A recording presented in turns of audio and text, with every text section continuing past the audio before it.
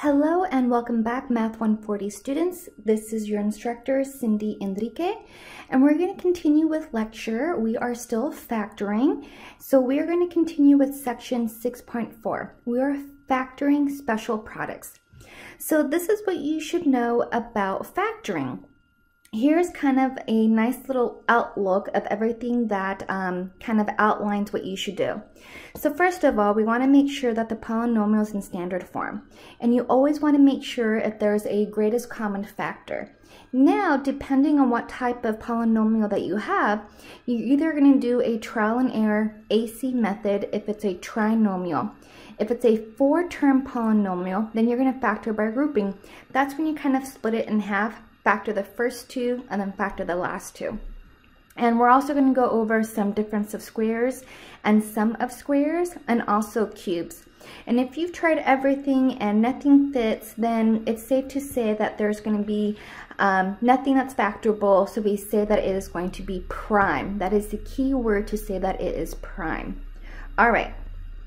So here we go into a perfect square trinomial. So here is just kind of a little tip to show you how things are gonna work out.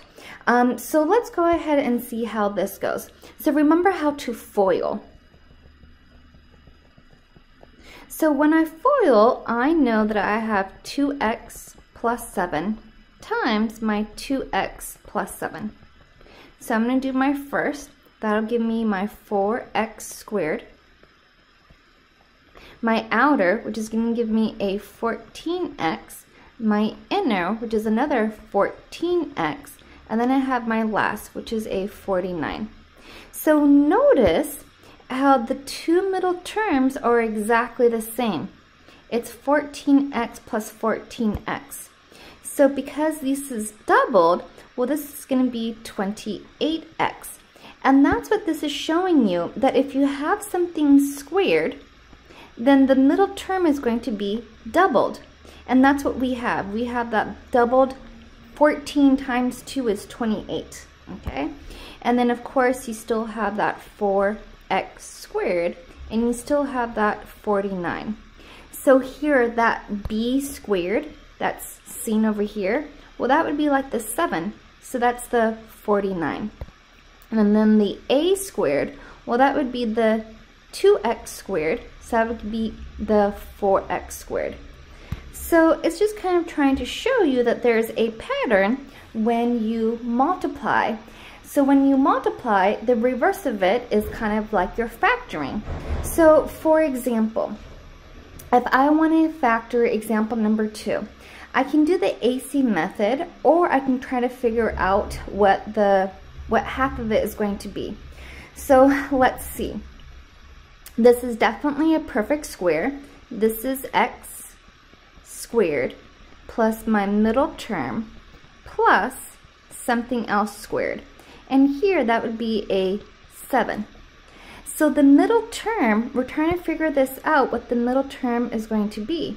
Since it's 14x, we can definitely see that it's going to be a 2 times your 7 times your x. So you have the x from here and you have the 7 from here, which gives you that 14x. So now you know exactly what's going to be inside the parentheses. You have this x that comes from here, so that's my x. And you also have your 7, which is here, so you're going to have 7. So I already know that this is going to factor as x plus 7 inside parentheses squared. So it's just a way to kind of show you a pattern if you can see it. All right, so let's see if we can see a pattern here in example number three. So I'm looking at this and I'm like, okay, well, let's see if I'm going to see a pattern. And sometimes you will and sometimes you won't. And it'll just kind of depend. So that 4x squared, I know that can be 2x squared. That 9y squared, I know that can be a 3y. Okay? And remember, we're getting my 3y from that 9y squared. And I'm getting my 2x from the 4x squared. So I'm trying to figure out what this middle term is going to be. So I know it would be twice the first thing, which is 2x, and then this last thing, which is 3y. So let's see, what is 2 times 2 times 3? Well, that would give me my 12 xy. So I know perfectly that this the way this is going to factor. I know this is going to be 2x plus my 3y. Okay. And again, this is just a shortcut way to see a pattern. All right, so let's look at example number four. So let's see if this also works out. I'm not sure, let's try. So I know I'm looking at something squared plus my middle term plus something else that's going to be squared. So that first thing that I'm going to look at is that 16x squared. So that would give me a 4x. Now that last thing over here, that 49, we know that to be a 7. So if I'm looking for my middle term, would it be the same as 2, because it's twice the middle term, the first term, which is 4x, times 7. So let's see, 2 times 4 times 7, that gives me a positive 56. And the only thing here that you want that you want to be careful of is that this is actually a minus sign. So this would have to be a minus sign. So since my first term is 4x, that would mean that my last term would have to actually be a negative 7. And negative 7 times negative 7 is a positive 49. So it actually works out. I'm going to have this as the first term, which is 4x, and the last term, which is a negative 7 squared as your final answer, okay? And you can keep kind of using this, you know, uh, if the first term squared, is the last term squared, is the middle term 2 times the first term times the last term, or you can just do the AC method if that's something that you like. Now, for number two, I can tell you right now for the practice problems, this is a v squared and that's a v squared. So this is actually a typo. Don't do that problem, okay? Um, so, all right, so here we go. Here's this one. Now, for this practice problem here, I'm looking at it, and I start with 6, 36, and 54. Now, when I look at those numbers, hopefully you guys see the same thing, that all of these numbers can be divided by 6, and they all have a y. So we actually have a greatest common factor. That greatest common factor is actually 6y. So I need to factor that out before I do anything. So when I do that, I'm left with y squared. 36 divided by 6 is 6. And 54 divided by 6 is going to be 9. So now I have that. So I want to know if this term can be um, factored out. So I'm going to look at my first term, and the middle term is a minus plus the last term squared. So I know that this first term comes from that first term. So that is going to give me just y. Now that last term is 9, so that goes in here, so the square root of 9 is 3. So let's see if the middle term is going to work out. Is it 2 times the first times the last? Well, 2 times 3 is 6, and I have my 6y. And it does match that middle term. So this middle term of 6y matches that. So now I have my, my the way it factors. I know it's going to be a y plus 3, or actually, not plus 3. Since it was a minus, I have to be careful. This was a minus so that means that this has to be a minus. So I actually have y minus 3 squared. And don't forget that GCF out in front that you pulled out, which was that 6y. Okay. So that's going to be my final answer. Now we're going to go into factoring special formulas. So here what we have is something called the difference of squares. So the difference of squares, the way it works out is that you actually have these conjugate pairs. So conjugate pairs. Okay. So when you have the conjugate pairs and you FOIL it out, what happens is the outer and the inner cancel out. So you're just left with the first and the last thing. So that's really nice when you multiply conjugate pairs. So when you factor, or sorry, yeah, when you factor, the difference of squares are the conjugate pairs. So I'm looking at this and I'm like, okay, well this is definitely subtraction. So this is going to be x plus 1 and x minus 1. Okay, the square root of 1 is 1 and the square root of x is x. I'm going to skip B for just a second and let's go to part C. So for part C, you can think of it as, okay, well, I know I'm looking at differences of squares. So if you need to kind of do that, you can. And so on the inside, the square root of 9 is 3. The square root of 25 is 5. So you have 3x squared minus my 5 squared. So now you know how the conjugate pairs are going to factor out. And you know you need a plus and a minus in order for them to be conjugate pairs. So you have a 3x plus 5 and a 3x minus 5 as your final answer. Okay. Now here you have to be really careful. This is addition. So because you have addition with a difference of squares, or sorry, addition with the sum of squares, this is actually prime. Okay, so that is going to be prime. All right, now let's continue going forward. So for part D, I am looking at that and I'm like, okay, let's see if we get them into our shells with the squares on the outside. Let's see how that works out.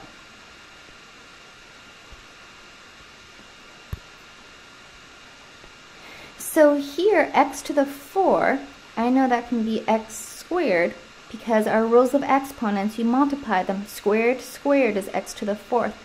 The square root of 16 is 4. So I know the conjugate pairs are going to be broken down with the plus and the minus. And on the inside, I have x squared, and I have a 4. And I have an x squared minus 4. Because this is addition, that stays exactly the way it is, but this is actually a difference of squares.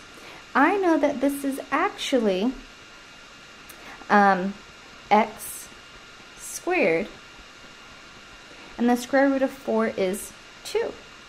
So this breaks down to x plus 2 and x minus 2. And then don't forget that you still had that x squared plus 4. And all of that is going to be your final answer.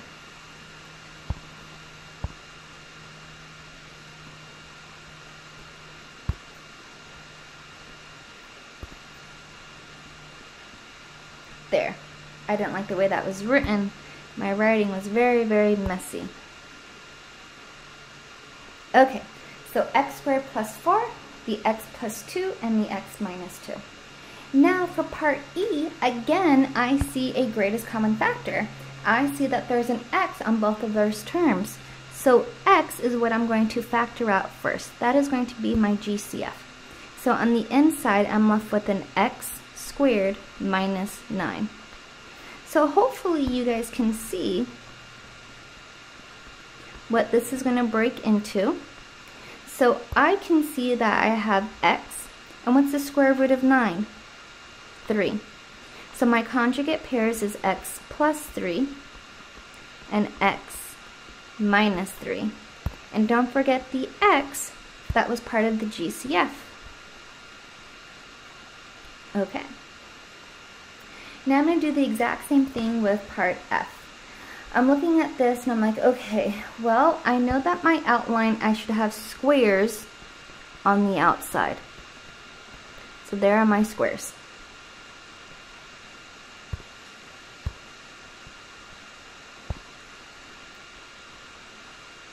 Okay, so then on the inside, what am I going to have? I know that it's going to be x to the, well, 3 times 2 is 6, since my rules of exponents, so that's x to the third power.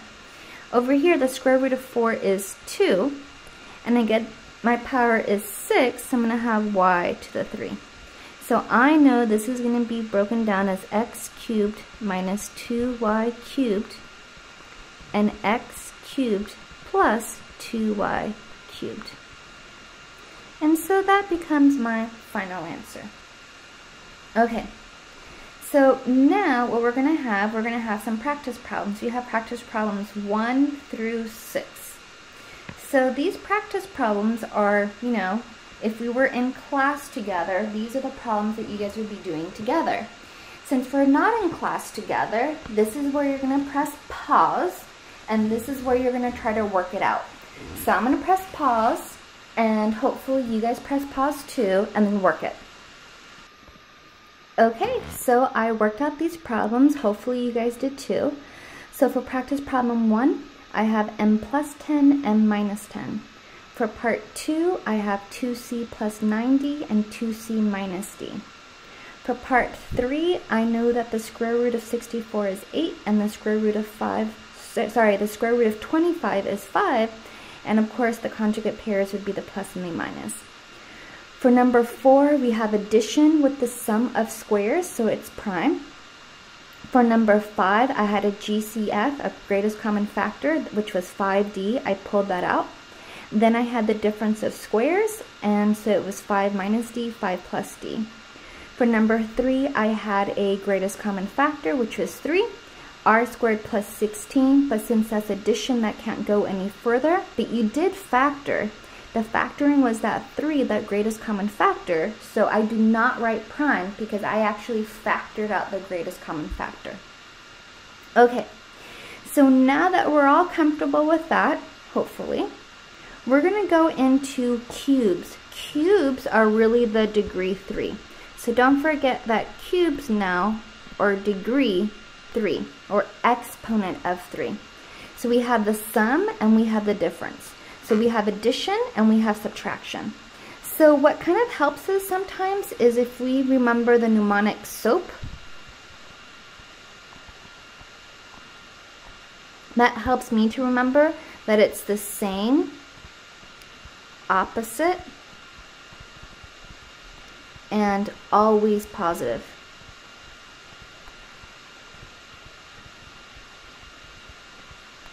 So look at the signs. It's the same, the opposite, always positive. Here's subtraction. It's the same, opposite, always positive. So maybe that's going to help you with your signs. Okay, so I know that I'm looking at degree 3 for number 1. So the way you can write it, if you want, you can write it as your shell so that way you can figure out how this is going to be written. So on the inside, I know that x to the third power is x cubed. And what to the third power gives me 8? That would be 2. So now that I have that 2 in there, I'm going to be looking at the sum of cubes.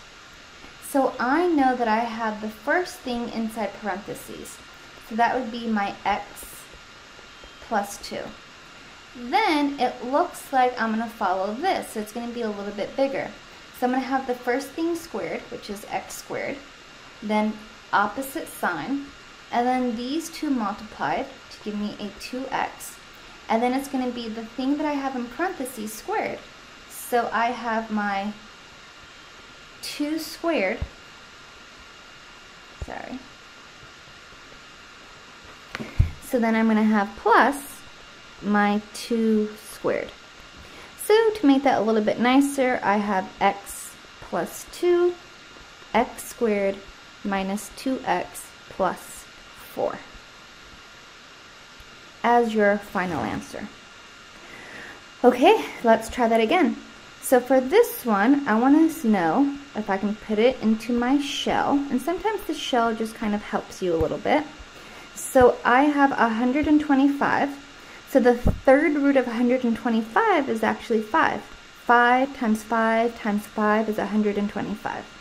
And we already know 8, that's 2 multiplied 3 times. So now I know what this is going to look like. So now I'm looking at the difference of cubes. So I'm looking at the one down below. I'm looking at this one. So I know it's going to be what I have inside the parentheses. So 5p minus 2. Okay.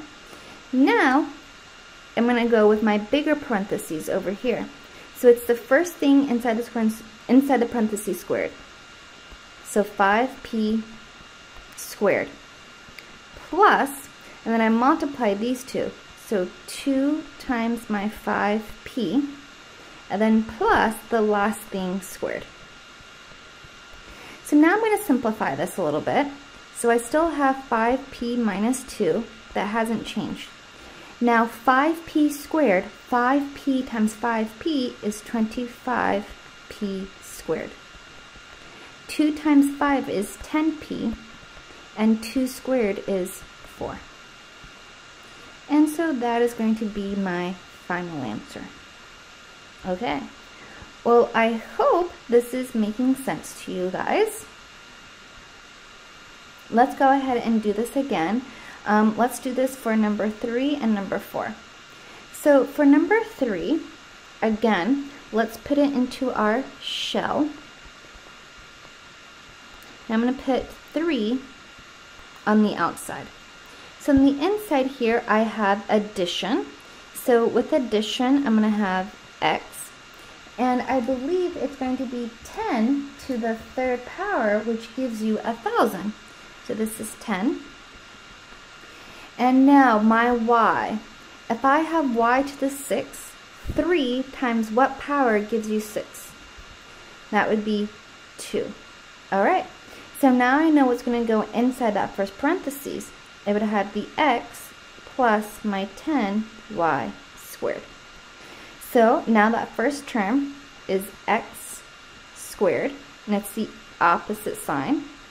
And remember, the middle term comes from multiplying the two things that I have inside parentheses. So I'm going to have my 10y squared times my x, always positive, and it's 10y squared squared. So to make that a little bit prettier, I have x plus 10y squared, x squared minus 10xy squared plus 100y to the fourth. Okay, 10 10 10 is 100 and y squared squared is y to the fourth. And here the middle term that y squared times x, I just like to go alphabetically in order. So x comes before y in the alphabet, so I have it as a negative 10xy squared. Okay. So now for number four is very, very similar. Um, I want to know whether or not there's going to be a greatest common factor. And it looks like there is because they are both even numbers. So let's see.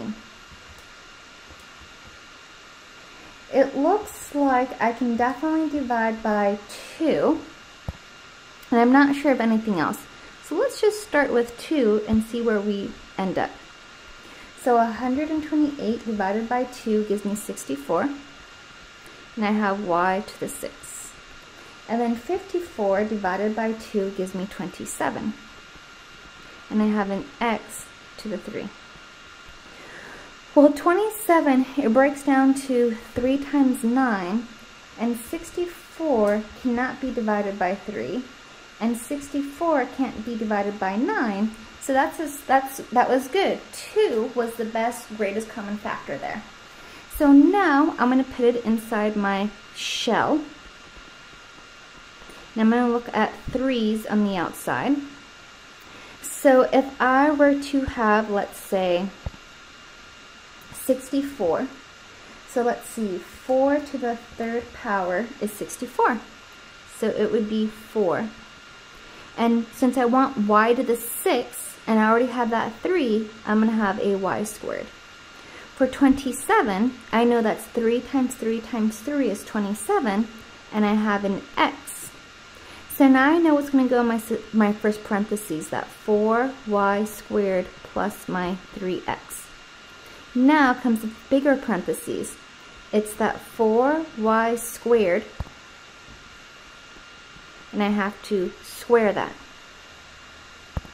Next, it's the opposite sign, so it's subtraction. Now I'm going to have my 4y squared times my 3x. Always positive. And now I'm going to have my last term squared. And that last term is a 3x. So don't forget to simplify this. So I'm going to have a 4y squared plus 3x. That didn't change. But now this is where I'm going to be simplifying a little bit. 4 squared, that's 16. y squared squared, that's to the fourth power. 4 times 3 is 12, and I have an xy squared. Plus 3x times 3x, that would be a 9x squared. And don't forget your greatest common factor, which was a 2 to begin with. So that is going to be your final answer. Okay, so now we have some practice problems. We have practice problems 1 through 9, it looks like. So go ahead and press pause now on your um, on your computer and try to work those out for yourself. Really try to do these problems, okay?